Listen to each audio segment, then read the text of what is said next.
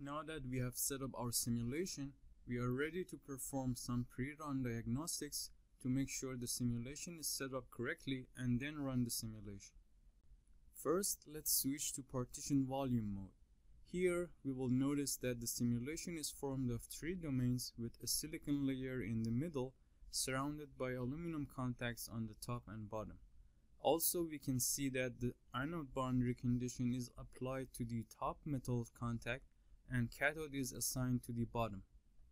In addition, the N-type doping covers the entire structure and the P-type doping is only applied to the desired area of the device.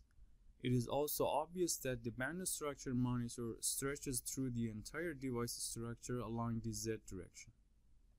Next, let's run the error checking and diagnostics tool to see if the simulation contains any errors or warnings.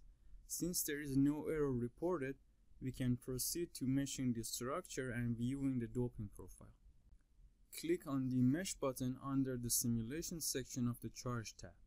After meshing the structure, to view the mesh and doping profile, right-click on the Charge Solver object and select Visualize Grid. The N attribute in the visualizer window represents the net doping value within the simulation region and is visualized in the window when opened. Positive values represent N-type doping and negative values are P-type. Here we can confirm that the PN junction is formed as intended.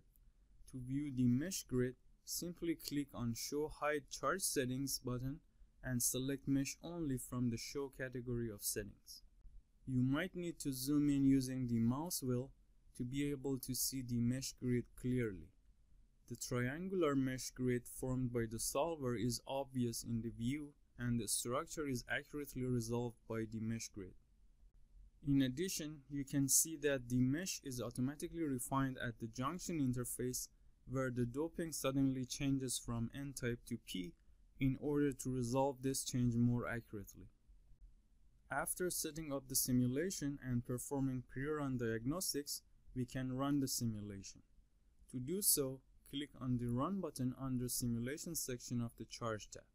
Once the simulation finishes running, results will be saved in the Charge Solver object and the Charge Solver icon in the objects tree will include a small red square indicating that results are available.